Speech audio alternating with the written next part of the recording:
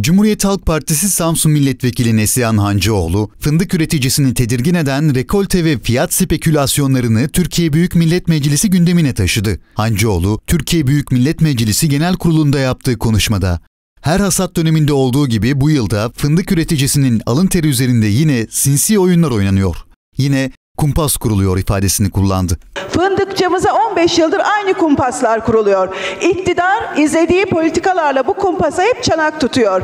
Yeter artık. Fındık üreticimiz kimsenin oyuncağı değil olmayacak da. Devletin ofisi alım fiyatı ve miktarını derhal açıklamak zorunda. Aksi takdirde lobicilere, kara borsacılara, vurgunculara hizmet etmiş olmayacak.